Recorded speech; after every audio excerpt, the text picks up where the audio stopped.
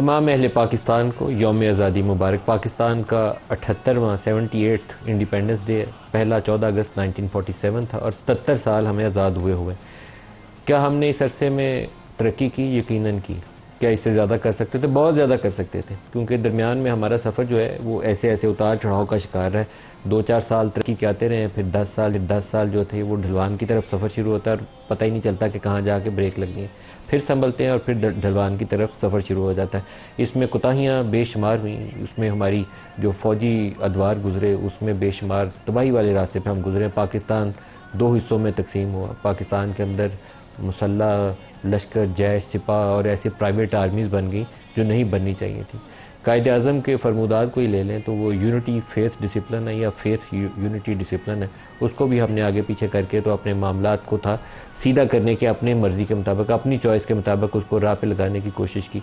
तो कुछ ऐसी चीज़ें हैं जहाँ पर ब्रॉडर सेंस में कहना चाहिए कि हमारी डायरेक्शन जो थी, जो कायद ने सोची थी, जो इकबाल ने जो अपना ख्वाब देखा था पाकिस्तान का, उस राह से हम हट गए।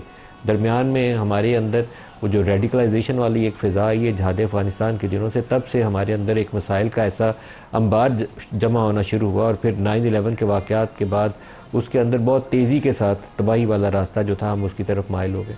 पाकिस्तान आगे भी बढ़ता रहा, तरक्की भी होती रही, ये कौम पढ़ी लिखी भी, नई यूनिवर्सिटियाँ बनी, इदारे बने, पाकिस्तान एक न्यूक्लियर पावर बना, लेकिन वो पोटेंशियल जो हम हासिल कर सकते थे, वो हासिल नहीं कर पाए। इसकी छोटी सी मिसाल आपको खेलों के मैदान से मिल सकती है। किसी ज़माने में, हॉकी के शोबे में पाकिस्तान दुनिया में ओलंपिक्स हो वर्ल्ड चैम्पियनशिप हो, पाकिस्तान का नाम दुनिया में टॉप प्लेयर के तौर पर आता था कि पाकिस्तान हॉकी का मैदान होगा तो दो बड़ी टीमें जो छा जाएँगी, एक पाकिस्तान होगा और दूसरा भारत होगा। आज पाकिस्तान कहाँ स्टैंड करता है? चालीस साल के बाद हमने पहला गोल्ड मेडल हासिल किया। क्या इससे बेहतर कर सकते थे? बहुत अच्छा कर सकते थे। 25 करोड़ की आबादी 40 साल में एक गोल्ड मेडल और मैं साथ अमेरिका के तमगों की लिस्ट देखता हूँ। बत्तीस, तैंतीस करोड़ उनकी आबादी है।